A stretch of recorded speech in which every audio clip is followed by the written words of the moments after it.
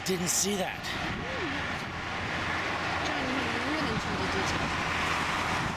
That is the source of the water feature.